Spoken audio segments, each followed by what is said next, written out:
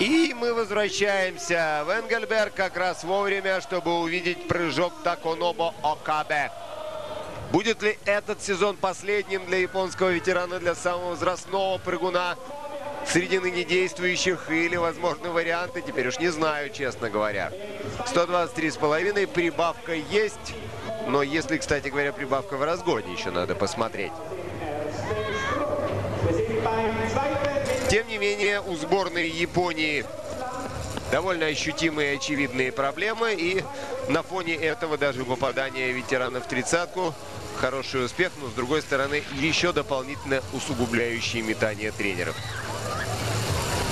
Да, разгон должен был увеличиться, потому что вы видите, что и Ульмера хорошо за 94 км в час была скорость на столе отрыва. Но он-то как раз очень недоволен, потому что это шаг назад, в отличие от японца. И японец, вы видите, перемещается на одну строчку выше. Наших отобралось двое. Это информация для тех, кто смотрит э, данный отрезок трансляции не впрямую. Главным образом, потому что я уверен в том, что те, кто присутствовал с нами в первой попытке, остается и во второй ибо очень интересная будет борьба во второй попытке. На смятую бандану в честь Джирда Италия. Похожа маска Себастьяна Коллоредо.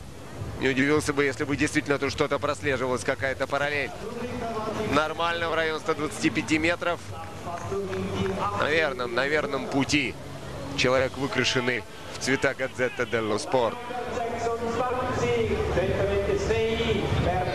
Нас снова повышается активность форума. Я призываю, кстати говоря, представителей сильного пола поактивнее быть, а то прекрасный пол здесь, по-моему, узурпировал все пространство. А посетительница наша, назвавшись Ленок-7, э, рассказывает интересную историю, насколько влияют нынешние прыжки на умы многих и многих людей. А, она училась в летнем университете Юяскуля финскому языку и выяснилось, что а, примерно половина ее э, соучеников, одногруппников из 50 человек пришли к финскому языку именно для того, чтобы лучше понимать язык Яна Ахунена и прочих. Ну, наверное, чтобы читать лыжную прыжковую прессу. Для этого, кстати говоря, немецкий язык весьма неплохое подспорье, потому что на бумаге по-немецки выходит весьма интересный материал по прыжкам, но, к сожалению, до интернета он, как правило, не добирается, остается на бумаге.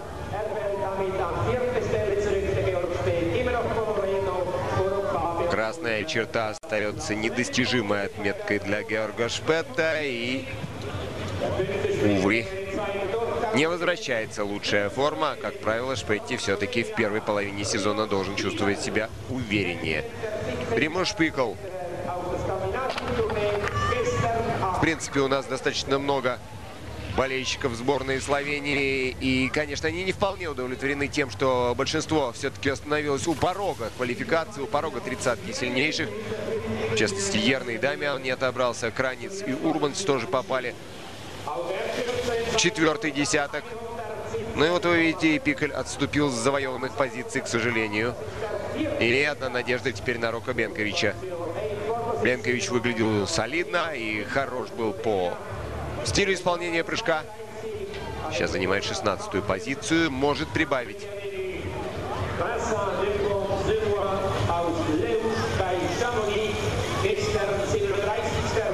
Сам Деком, который был готов, по-моему, прыгать на одной ножке, не снимая лыжи. Настолько он был рад тому, что отобрался в тридцатку сильнейших да, на сегодняшний день. Для французов это достижение. В район 125, при том, что скорость была не идеальная.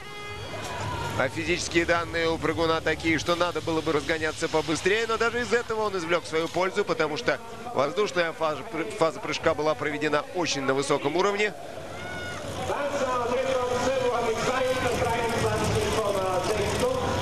Что с приземлением? В воздухе все в порядке. И с приземлением полный порядок. Тоже не меньше 18 баллов заслуживает такой прыжок по чистой технике.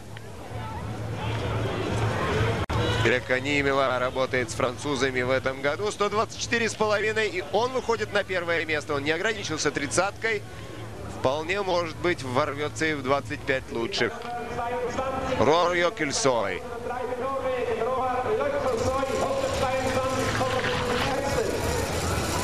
Человек, который выстреливает во второй попытке в своей лучшей форме, но и не в лучшей форме, показывает себя бойцом второй попытки за 125, или, по крайней мере, в 125.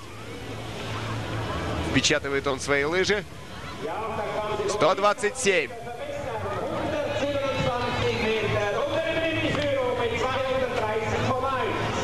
Ничего, он идет к чемпионату мира. Он в Японии очень любит выступать. Мы это знаем, это помним по предыдущим его появлениям там. С тем трамплином он дружит. Ну и, конечно же, на турне четырех трамплинов тоже есть у него трамплины, которые он любит. Недолго продолжает, продолжалось лидерство малоизвестного французского прыгуна. Но теперь Дмитрий Патов которому вполне по силам на сегодняшний день даже попадание в двадцатку сильнейших. Святое место второго номера сборной пусто не бывает. Не дотянул Магаданец до отметки 125 метров. И поэтому Йокельсой точно его проходит. Скорее всего, и Деком.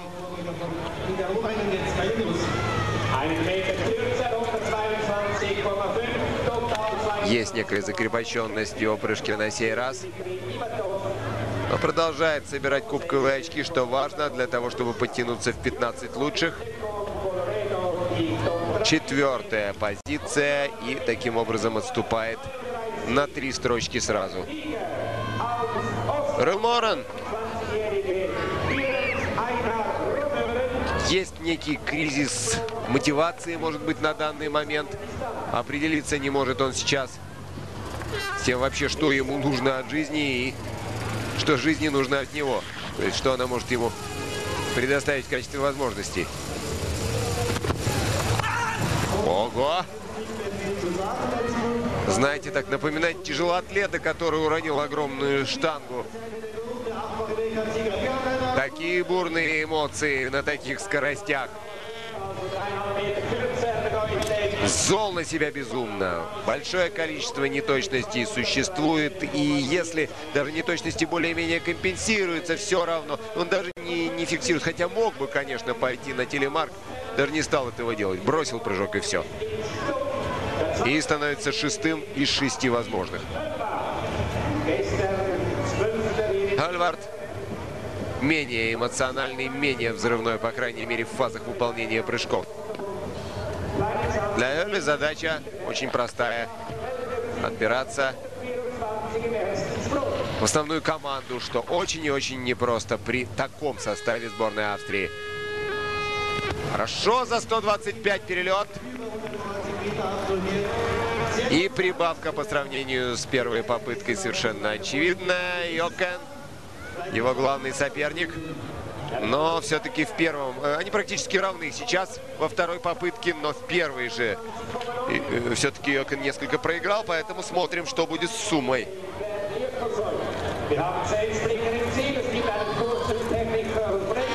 Техника, выверенность, очень высококлассный прыгун, очень нужный команде на сегодня. Так же, как и Видоэльцель, которому не повезло и который, к сожалению, здесь к трамплину не пристрелялся.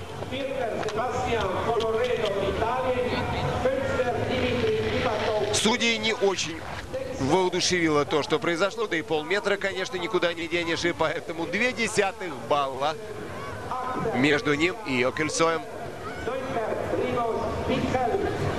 10 из 30 выступили к этому моменту.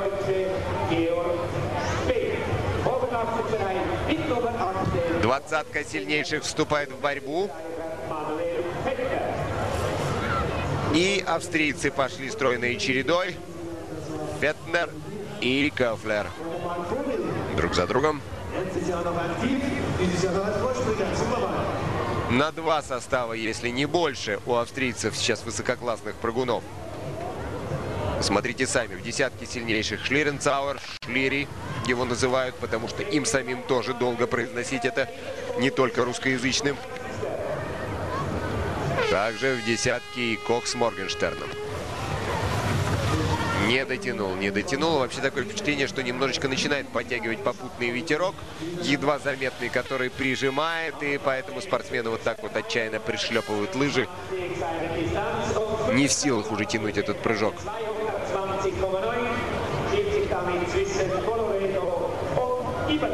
Но этот хотя бы с разножкой это сделал, в отличие от Рюморена. Тем не менее, пятая позиция, и Фетнер отступил с той строчки, которую он имел перед этим. Кафри в этом сезоне, в принципе, выглядит неплохо, но еще с лета начал хорошие результаты показывать и не всегда ровно идет. Есть!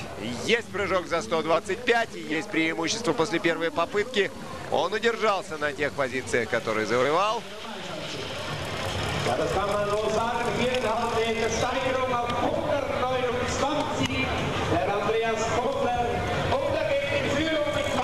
Запнул вчера шестерку сильнейших Андреас Кофлер. И, в принципе, это вполне его трамплин. И это лучшие результаты который он продемонстрировал в текущем зимнем сезоне. Что касается э, прошлогодних соревнований, то вы помните, конечно, что... Точнее, не прошлогодних, а прошлосезонных, поскольку прошел уже летний сезон, то мы, конечно, отметим его очень ровные выступления. И, в частности, победу тоже в Швейцарии. Вайсдаль. Йорк Рицефельд вот от него никто вообще особенно больших сюрпризов хороших не ждал. Тем не менее, пошел. Потеряв Ноймайера, конечно, сборная надеется и на вторые, и на третьи, и на более далекие э, свои номера. Рицефельд вполне выполняет роль какого-нибудь там, скажем, третьего номера. На сегодняшний день он лучше, чем Шпред в принципе, достаточно философски позволяет оценивать эту ситуацию Петеру Роувайну, который говорит, что при ликвидировании мелких технических э, погрешностей сборная очень значительно прибавит, прибавит вся. А так, то, что они рядом находятся, это показатель того, что у них хорошая перспектива, так он считает. Бавдаль.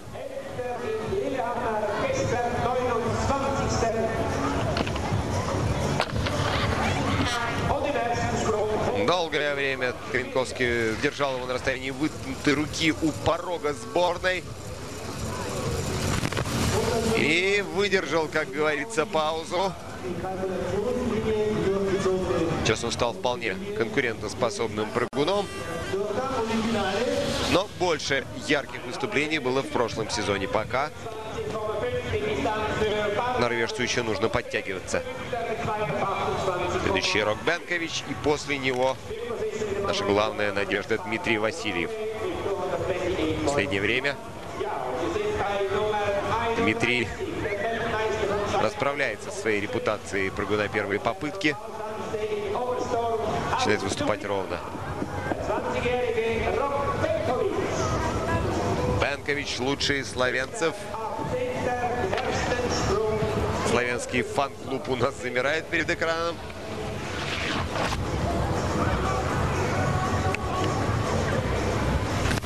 Не долетает до 125 и не перехватывает лидерство, так что перестановки продолжаются. Разрывы небольшие гарантируют такие рейды. Кофе поднимается все дальше и дальше с 19 места. Приближается уже к 15 -му. Позволит ли еще подвинуться вперед австрийскому подросшему спортсмену Дмитрий Васильев.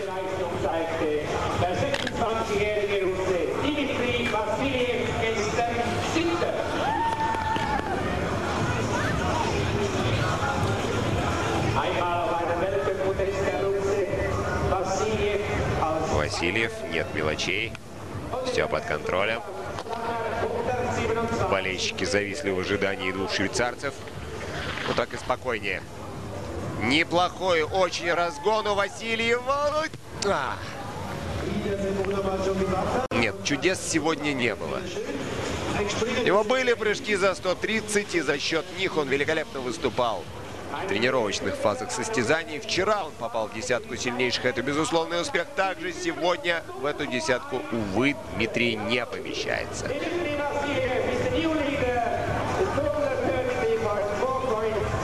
Провал нет не совсем.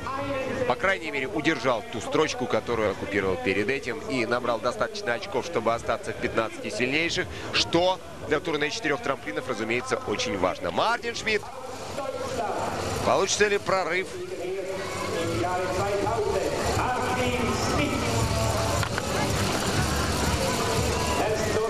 Двадцать семь побед у Мартина Шмидта на этапах Кубка мира.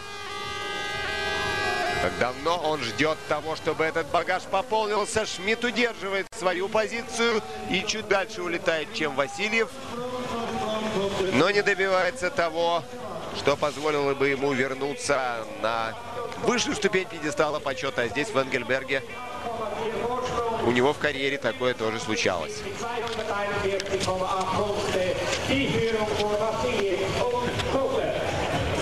Смена инвентаря, очень радикальная смена инвентаря от лыжи до прыжкового комбинезона, конечно, это тоже требует определенного времени на адаптацию. решил плюнуть на карьеру арбитр из Германии и выставил ему 19 баллов. Пусть думают, что хотят. Но поскольку этот балл был единственный такой, то его как максимальный вычеркнули. Даю цель.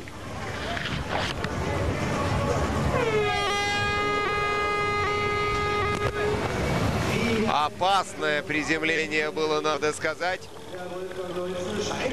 Но Лойцель обладает хорошей тренированностью мышц ног, потому что чуть более слабый прыгун с чуть более слабой мускулатурой мог бы, пожалуй,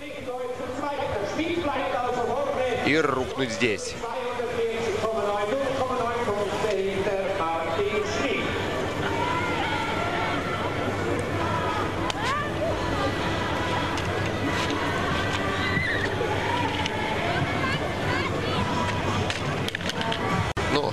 Что тут досадовать Александру Пойнтнеру? У того, что Вольвинг не перехватил лидерство. Зато он позитивен, как всегда, и улыбчив, как всегда. За редким исключением. Ну и, как всегда, за редким исключением. Опять-таки, не улыбчив Ян Афонен. Неплохой выход подает себя вперед. Ветровая обстановка не идеальная, надо сказать. И обладатель всех титулов в современных лыжах, но неудачный. Э, неудачливый с олимпийских точек зрения. Ян Ахонен едва перелетает через 125. И начинается поединок Шмидта с Ахуненом, что, вы сами понимаете, вызывает бурю ностальгических воспоминаний. Да только не за первое место они совсем борются. Ахунен третий, Шмидт по-прежнему первый. Шмидт может отобраться в десятку сильнейших. Любопытная ситуация. Аутамяки. Ну, Томми Никкунен нас всех с помощью Яны успокоил, сказав, что доля еще будет. Жестковатый очень высоко вышел Масса, но он скорректировал на погоду свой прыжок. Сверхопытный прыгун. И воспользовался этой ситуацией. Вы видите по флагам, да, попутно-боковой слева. Ветер, по крайней мере, там, где зрители. Повыше, может быть, и несколько иной. Но общее направление понятно.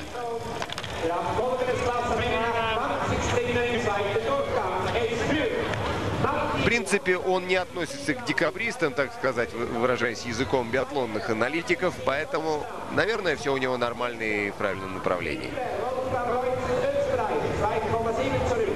И первая позиция. С очень хорошими оценками заканчивает он этот прыжок 18,5. Но идет работа, и никаких супер эмоций на его лице не найдете. 20 из 30 завершили соревнования. Шмидт подтянулся вплотную к десятке сильнейших, как и Хаутамяки.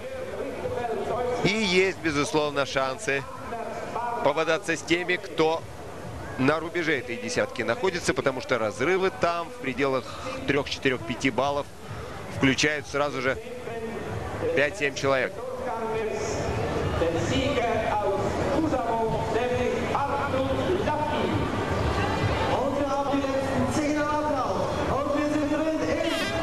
Вальтер Хофер всем доволен. Все ритмично, все по-настоящему. Как этот сезон начинался, не мне вам напоминать.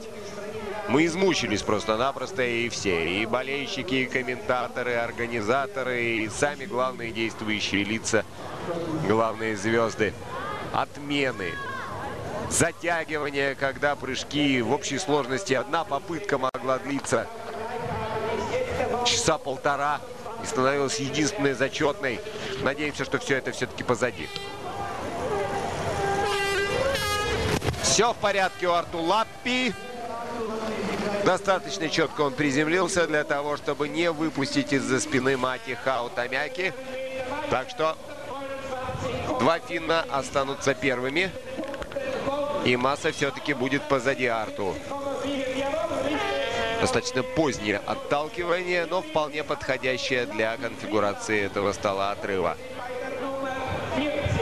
Каждым трамплином, конечно, нужно в отдельности подружиться. И тем обиднее, что подружившийся с этим трамплином Васильев сегодня, к сожалению, в десятку не попал. Но дважды в 15 хорошие перспективы. Все-таки ведь турне четырех трамплинов начнется лишь через полторы недели. Надеемся, прибавит. Урман опять возвращается на свой привычный высокий уровень. Лучший в сборной Германии. Как закинулся наверх. Ну и вы видите, что так же, как и Лойцель, он постарался именно этим, именно такой траекторией воспользоваться для того, чтобы вытянуть дальность. Полминуты, полметра он проиграл самому далекому прыжку второй попытки, исполненному только что буквально Арту Лаппи. Все зависит от оценок, потому что разрывы небольшие. Лурман второй.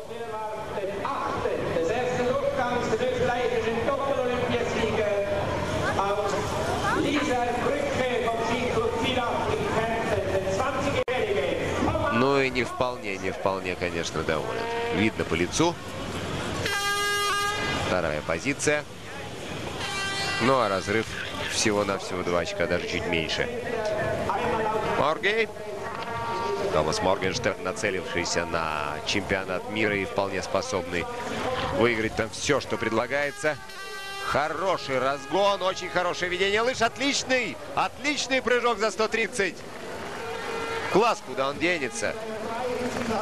Его можно сломать этого прыгуна, если изменить радикальным образом в очередной раз технический регламент. Ну а при, э, при поступательном движении лыжного спорта ничего не должно произойти. Ну и, естественно, если не будет травм, все в порядке будет со здоровьем. 133 метра. Брависсимо. Томас Моргенштерн. И это серьезная заявка на то, чтобы поменять несколько мест и подняться повыше. Очень красивое начало прыжка было. Аэродинамически безукоризненный прыжок австрийского чемпиона.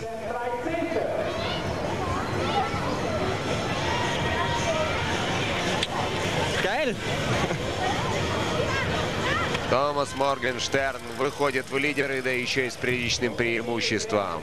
Да, какой нам предстоит турнир, какой турнир четырех трамплинов. Можно позавидовать, кстати говоря, зрителям британского Евроспорта, у которых будет прямая трансляция. Но э, не сумели договориться с австрийцами по поводу прямых трансляций на всю оставшуюся континентальную Европу. Молодец! Еще один австриец. И Кох Кох точно прыгнул выше головы, потому что от Морги как-то мы ожидали, от Коха нам показалось, что дрожали коленки у него в последнее время, но Кох очень серьезно работал и во время того перерыва вынужденного в этапах Кубка мира, несмотря на падение, он на сегодняшний день очень здорово выглядит.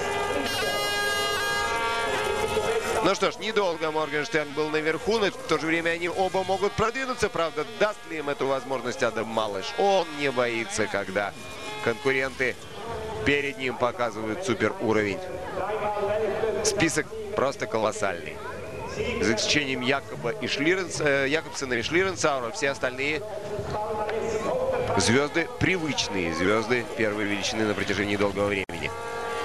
Малыш отлично отталкивается. Великолепный прыжок за 130 метров. Чуть, чуть подальше, чем у Моргенштерна, но поближе. Да, да, да, поближе. Нет, такой же, как у Моргенштерна, но поближе, чем у Коха. Хватит ли запаса первой попытки? Одна десятая балла всего-то навсего была между двумя спортсменами. Между австрийцем и поляком. Один судья решит, по сути дела, все сейчас. Может быть, даже и в борьбе за призовое место. Хотя молодые держатся во второй попытке. И даже прибавляют, как Шлири. Второй. Второй, несмотря на 19 баллов. Дальность сыграла свою роль. Или Мартин Кух а, остался впереди. Но Аман борется за то, чтобы удержать свою лидирующую позицию. И он делает это. Держись, держись, держись, родной. Не надо падать. Бог с ним, с этим телемарком. Лучше, лучше пусть будет живой и здоровый Симон Аман. И дополнительных сотрясений мозга, которые потом предшествовали супер победе на Олимпийских игр, э, играх нам тоже, естественно, не нужно, как и никому из болельщиков. Оценки сейчас будут занижены за стиль, но при четырехметровом преимуществе в дальности он, конечно, выходит на первое место. Правда, если он думает о борьбе с теми, кто остался еще, то качество прыжка здесь тоже влияет. Ну, нельзя сказать, что на горшок совсем сел.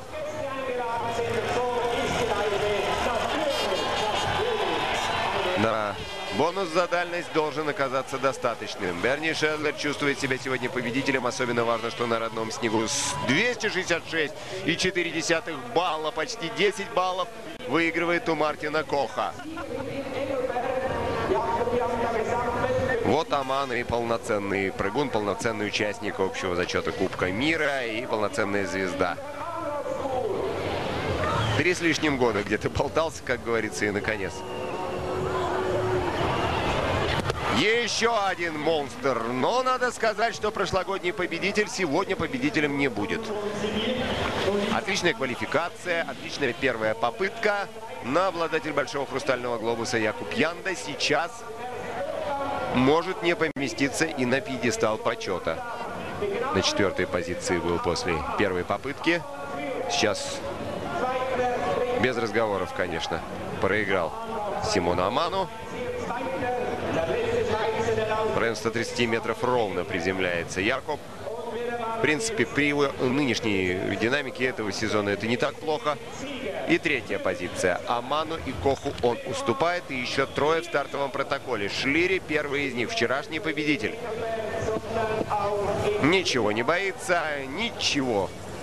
При всем желании не может потерять. Потому что все только начинается. И все, что не происходит, все это большое открытие и большой бонус. В небеса улетел Шлири. И приземляется с очень четкой техникой в район 140-метровой отметки, но не дотягивает до нее и где-то туда пришел, куда и Аман. Нет ближе. Нет ближе. На 3,5 метра ближе. И таким образом Симон Аман останется лидером. Вы слышали, как замирала сначала публика, потому что чувствовала, что прыжок качественный, техника хорошая. Лучше, чем у Амана. Но дальности было заметно меньше. И они ждали, тем не менее, что выставят судьи. Наверное, судьи уже выставили свои оценки. Раз они шумят, значит, Шлири выходит на первое место. И опять подиум. Как минимум подиум. Звезда нового четырехлетия. Но звезда предыдущего четырехлетия, ворвавшаяся практически в элиту в том же возрасте, что и этот парень, сегодня хорош. Морги. все-таки еще будет бороться. И он не потерял лидерских позиций в сборной. Я думаю, а тем временем прыжок на 130 ровно совершает Кютель и теряет свои позиции. 130 с половиной метров дальность. Перегорел, скорее всего, Симон Аман. Симон Аман как минимум второй сегодня, и поэтому публика не так уж сильно расстроена. Недостаточно хорошо разогнался. Ну и вообще был немножко деконцентрирован, честно говоря. Ну ничего, следующие этапы будут не на родине, там будет, может быть, морально и проще. И Берни Шедлер все равно доволен. Ну, ему нужен общекомандный результат. А он есть, вне всякого сомнения. Шестая позиция. Шестая из возможных... Ну, седьмой может быть, если вдруг норвежец удивит всех. 20-летний Якобсен отправляется в путь. И все сейчас в руках у него. Хороший, но не идеальный разгон. Но этот вот стиль, орлиный стиль, выносит его в район 140 метров и почти до рекордной отметки. Непричесанным был этот прыжок, безусловно. Но вот один норвежец, один стоящий целой команды и даже загрустивший был рекордсмен мира прибежал сияющий сюда, и все, все пришли его поздравлять. Это прорыв на новый уровень. Якобсен со вчерашней подиумной позиции сегодня на вершину. И что, также точно будет скромничать и сегодня в интервью, или что-то скажет про себя на этот раз более самодовольная. Первый серьезный сезон в Кубке мира. До этого держали его на отдалении. В Гран-при летнем он выступал очень прилично, особенно в начале. И мало ли кто с другой стороны выступает хорошо летом. А здесь трижды второй, однажды третий. И вот вершина пьедестала почета впервые в его карьере. Попробуем взять у него интервью, благо, как и все норвежцы по-английски, он общается. Один лишь шанс был у Мики Каенковски, но на то он и Мики Каенковски, чтобы им воспользоваться. И, как всегда, очень дружная, очень джентльменская обстановка на тренерской бирже. Якобсен, Аман и Шлеренцау. Такова тройка сильнейших. Ну а пока интервью дается конкурирующему германскому каналу и отнюдь не по-английски.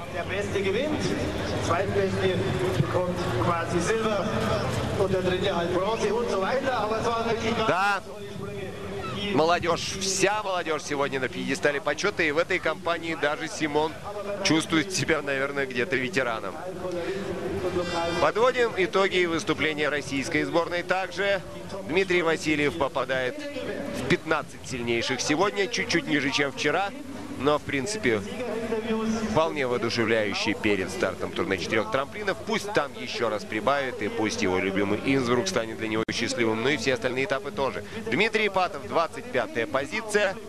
Также Магаданец подтвердил свой высокий класс, ибо все те, кто в тридцатке сильнейших, это действительно очень высокий международный уровень. Спросите об этом любого участвующего там прыгуна, и вам скажут, что это элитный клуб, и что каждый, кто в него регулярно пробивается, выходит практически на орбиту. Не торопится разбегаться, как вы видите, и зрители, стремясь чествовать Симона Амана. У нас есть еще пару минут в эфире, но трудно, конечно, пробиться Ганнерсу Якобсену. Но, тем не менее, у нас есть еще сегодня вечерняя программа итогов уикенда. Может быть, для нее удастся взять интервью у внезапно взошедшей норвежской звезды. Ну что ж, друзья, как и во всех Кубках мира, и в прыжковом тоже у нас будет довольно приличный перерыв. Рождественский европейский перерыв, который закончится лишь 26 числа, и лишь горнолыжники будут радовать своим мастерством. Ну а потом турне четырех трамплинов у прыгунов. Это следующий серьезный старт.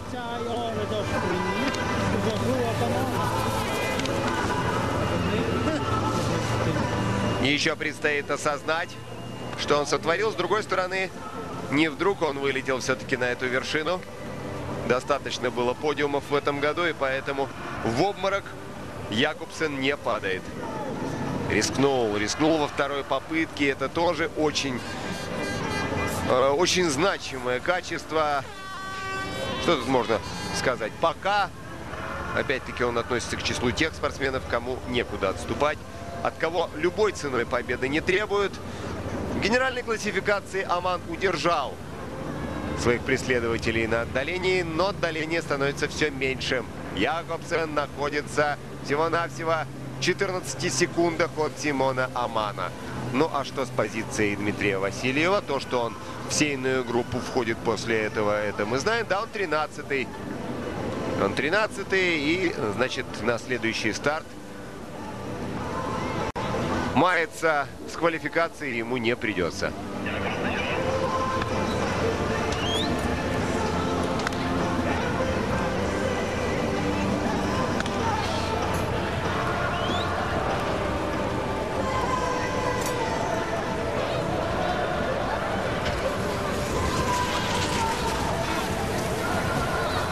Что ж, впереди Оберсдорф, Гармиш, Партенкирхен, Инсбрук и Бишофсхофен. Великолепное турне четырех трамплинов, классические соревнования.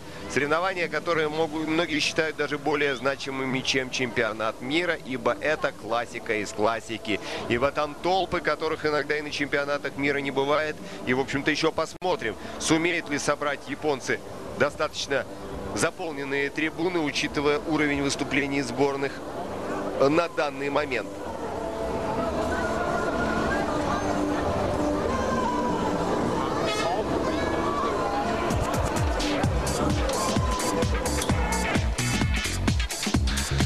По итогам нашего сегодняшнего зимнего уикенда журнал Винтер Парк, который выйдет в эфир в 21 час 30 минут по московскому времени.